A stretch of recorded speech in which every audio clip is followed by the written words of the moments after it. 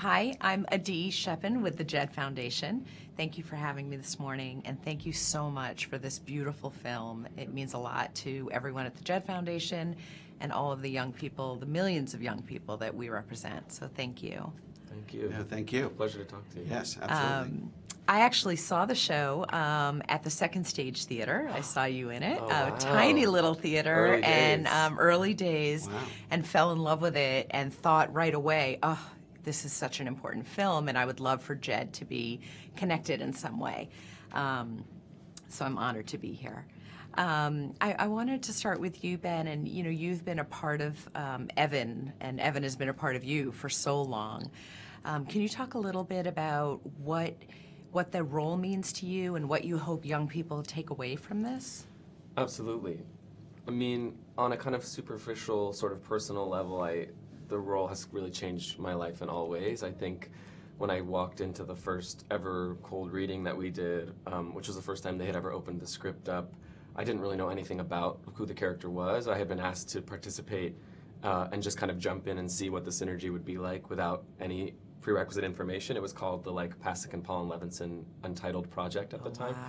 Um, and so I opened it up and I was afraid of all of the things that I could and couldn't do. I was like, what if it's an accent? What if it's a, you know, this like dashing, like princely guy? Like all these things that I was like worried about. And then I opened it up and it was this like stream of consciousness, anxiety ridden, heart on his sleeve, like young person. And I just felt so immediately connected to it. And I felt so sort of like we had such a symbiotic kind of connection right off the bat. And I think you know, I have ha- always had this dream of getting to do a role in a musical and create a character in a musical, but to do that and have it have this kind of impact with someone that struggles with anxiety, something that I have always had in my own life, and have that be the platform on, which it inspires young people, it just felt like the ultimate gift because like any any musical is a dream for me. I'm a theater nerd, but to do something that uh, can make an actual difference or that people can connect to on a level that is important to me personally feels very special and i think i hope that people take away from evan whether or not they you know relate to him on any kind of obvious level. You may not be outwardly anxious or Sure. you know socially awkward or you might have a lovely group of friends or a family that you do communicate with well or but none of that i think exempts anyone from feeling at some time or another isolated or on the outside or in their own bubble if you will these last few years. And i think everybody has a piece of evan in them and i think when they see how deeply he struggles to connect and his deep deep desire to feel seen and feel heard and have somebody that wants to hear what he has to say i think it's impossible not to connect to that and, and hopefully not to feel slightly less alone when you see that uh, Yeah. and know that you can make very difficult mistakes and still be forgiven and still have redemption Right. um, so i guess i hope that young people feel that when they when they watch his story for sure. Yeah, absolutely. And to follow up on something you said, you know, um, for Alana, that is the unexpected, right? Like you don't you don't know that about her in the beginning um, that she too struggles with some of these issues. And I know the song um, Anonymous is a new song; it wasn't in the play. Um, and I understand that you co-wrote it, um, which is incredible. And so, can you talk a little bit about about Alana and that? Um, that moment where she sort of comes clean to Evan, I think is such a powerful moment, especially looking on the outside for for young people and for everyone to see. Oh, it's not just this sort of stereotypical character, but um, or what we may think stereotypically, you know, people with anxiety struggle with, but also this sort of powerhouse character who then reveals that she too is going through things. Yeah, sure. Um, I feel like that was like, I, I was just the luckiest person as an actor to be able to have the freedom to kind of explore this character who's already like so hilarious and bright and um, to, to explore that character deeper and kind of figure out exactly how her like neurodivergence presents itself. Um, and I think that's the thing is that we all kind of struggle with some level of anxiety or depression or generally speaking. I think a lot of people do you know and it presents itself in so many different ways um, and sometimes it presents itself as someone who has you know an obvious difficulty connecting with other people sometimes it presents itself in a way where maybe you're overcompensating for the isolation that you feel by burying yourself into distractions and activities, and because it's so hard to kind of just sit with yourself. Yeah. Um, and that was something that I really related to with Alana. Um, and even reading her on the page, like I remember just like fat teardrops like directly onto the page, um, just like getting it soaking wet. Um, because I, you know, I I think that we all struggle with feelings of isolation and that's kind of like the paradox and the trappings of, of neurodivergence in general is that it tells you that you are alone and that there is no way that you're going to escape that isolation um, which just kind of becomes like such a self-fulfilling prophecy Right, you know right. and and so um, to, to be able to play a character who gets to kind of like be brave enough to kind of step outside of of that of that internal voice and connect with someone else who's also going through that like yeah it was so deeply gratifying and Yeah. meant so much to me Yeah. I love when she says, like, okay, I'll go first. You know, like, because Yeah. clearly, you know, Evan isn't going to. And it's sort of like you could almost just let the moment skate by. But she says, no, I'll go 1st I love that. It's uh, the two moments in the film for me that are like the greatest gifts to Evan is the when Amy Adams, who plays Cynthia Murphy, says, you know, we, we want to hear when when they're on the, when the dining room table when he comes over for dinner and she expresses like that she really wants to hear from him and wants to hear what he has to say, Yeah. and that's such a gift opening that door. And then the second one, that's kind of like the fulfillment of that idea is, as Alana really opening the door and extending a hand and saying like, I'm gonna make myself vulnerable so you can. Um, I think that's what so many people need and want. It's just that gateway, and hopefully the movie is that for a lot of people. I hope. Absolutely. Um, Stephen, I know that you also wrote The Perks of Being a Wallflower and directed the film. Um, it's one of my son's favorite books, Oh. um, so thank you. Thank you. Um, can you talk a little bit about your interest in this theme? I mean, obviously there are similarities in terms of a through line. Um, you know, what does this mean to you, this theme, and how how did you become involved in this idea? Well, I, I, I think I very much, starting with the Perks of Being a Wallflower, I very much related to um, young people and their struggles with, you know, uh, whether it's it's depression, anxiety, or or uh, you you name the issue. I mean, kids deal with all of it, right? Yeah. And if they don't deal with it directly, they they love or care about somebody who is dealing with something. Absolutely. And and um, so when I was younger, when I wrote Perks, I was 26. So uh, you know, I was. It's crazy. Yeah, so it's crazy. amazing. Yeah, right. I know. So I was 26, and so I felt very close. I mean, I was eight years away from high school, Yeah. so it was very, Yeah. very.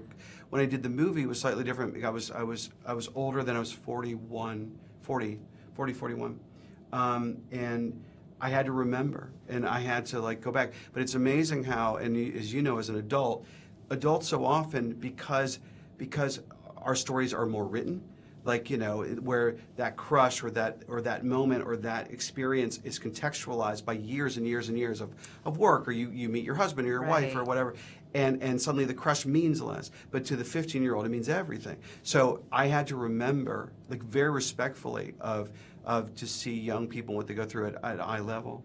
And Dear Evan Hansen felt like a very natural uh, extension of every theme I've ever tried to do. I remember going to the studio and saying, Look, I've, I've basically spent the last 20 years of my career making movies about young people and writing musicals. So I, I here we go. Here- I'm your guy. I, I am, I am the prototype person. So please hire me. Right. And thank God they did because I, I just I loved um, I loved the the writing of it. I love what it was about, and and I also thought that the film would give give the story itself.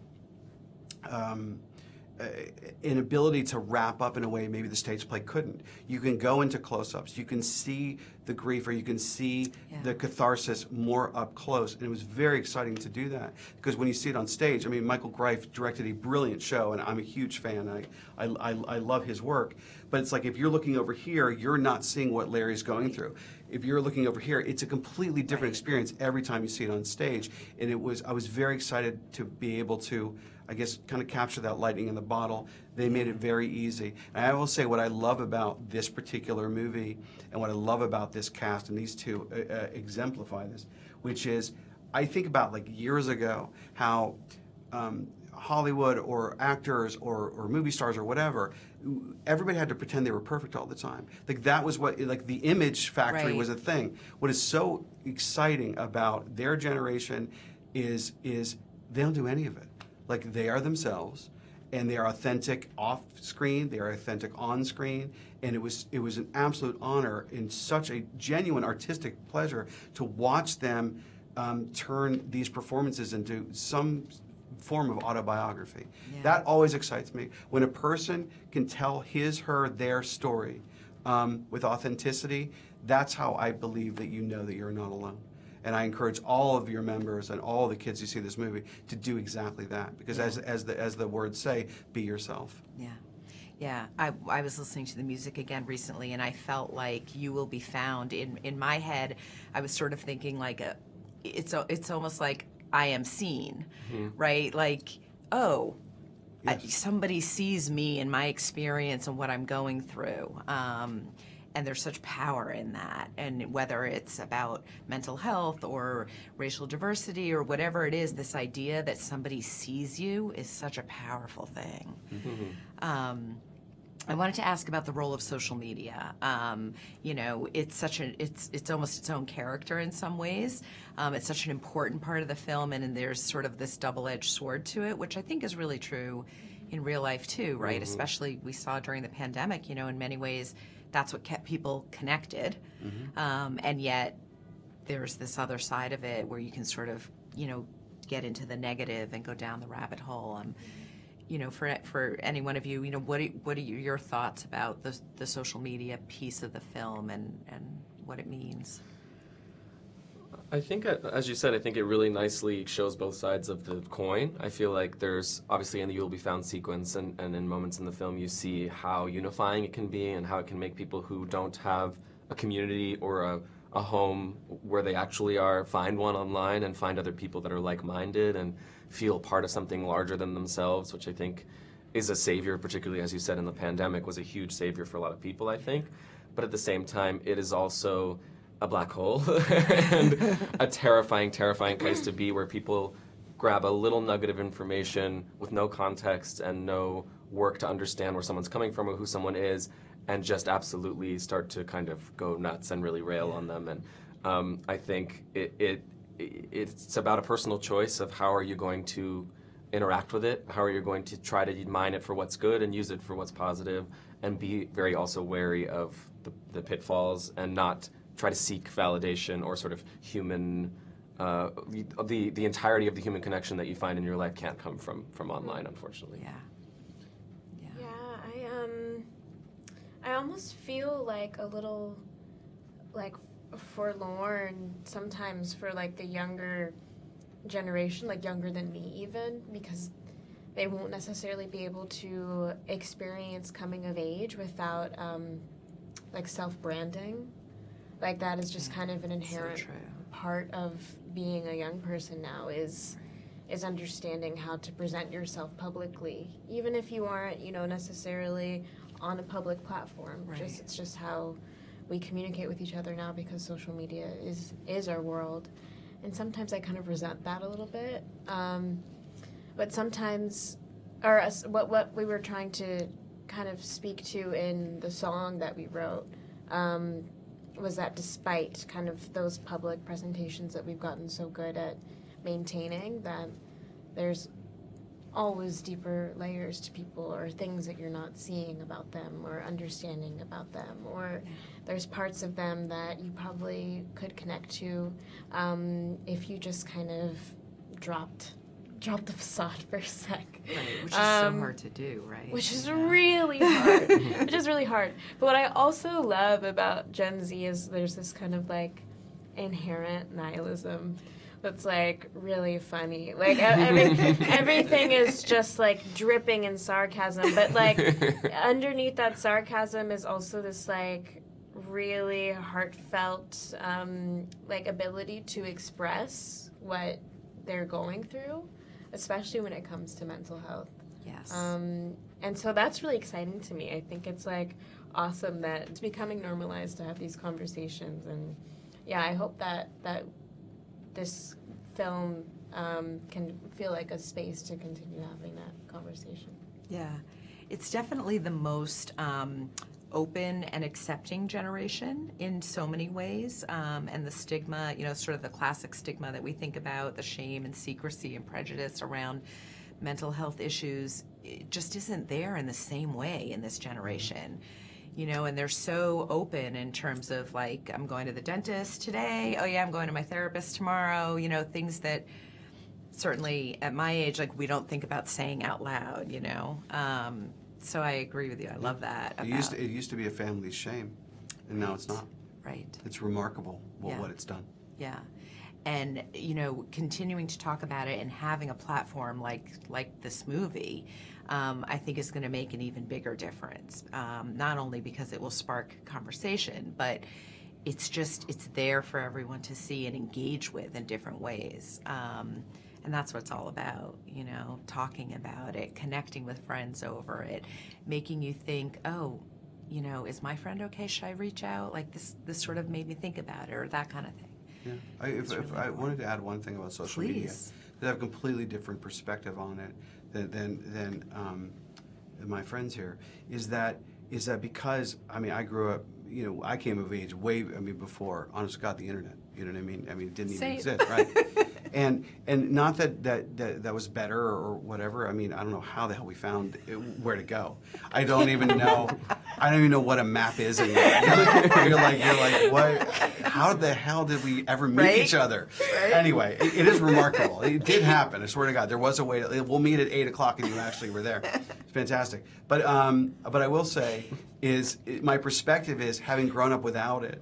Not that obviously young people are, because I made the movie in part to understand social media for my kids who are six and nine now. And, and I'm trying to help be part of the solution to maybe make the world they're about to enter, adolescence, a little better. Um, I will say that uh, there's a great old say, saying that uh, what people think about you is none of your business. You know what I mean? And and not that uh, I'm not I'm not going to be like the middle-aged guy that's like you know this is wrong how we're doing this. Not at all. What I will say is it is a choice. All of it is a choice. And I can't tell you. Uh, I used to be quite active on some things, and then I made this movie, and then I just like I just stopped because I realized that the people whose opinions or approval of me that I really care about, I actually know. I can talk to, I can hug, I can say hello, we can have lunch, and and again, the powerful part of it is knowing that you are a part of something that's bigger, that you can be public about whether it's mental illness or, or whatever group you belong to, and that people know that they're not alone that way. Right. Because there was a lot of isolation before this information was out there. I do remember that very well. It was terrible. People were closeted everywhere in, in all capacities. Yeah. Now, not so much, which is fantastic. But like past that, it's just like it is okay to do this, and life will not be over if you do, even for an hour. Just to know that you are bigger than it. Just always remember you are bigger than it. Absolutely. Oh, yes. No, I think that's really powerful. It's true. Well, thank you so much for your time. I so appreciate it. Sure. And um, Thank you for what you do. everyone at JED. Yeah, thank, you so much. Yeah. Thanks.